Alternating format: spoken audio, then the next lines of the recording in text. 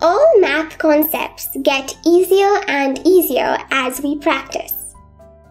I know. Can't wait to work on multiples. Find the first three multiples. Find the first three multiples of 4.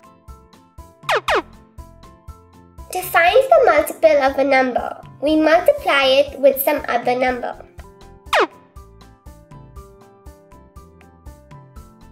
In this case, we will have to multiply 4 with the first three numbers, which are 1, 2, and 3.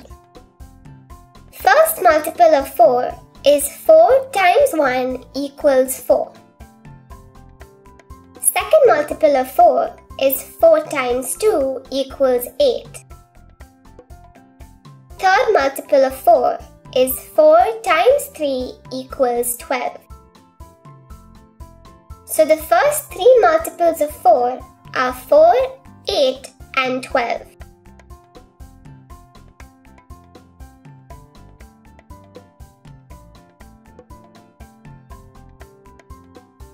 Brilliant!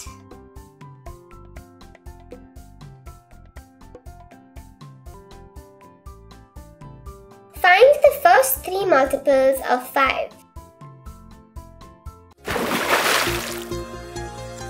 Thank you for watching. Enroll now. To access all 184 videos totaling 16 hours and 38 minutes, featuring introductions, examples, and exercises for grade 4 math.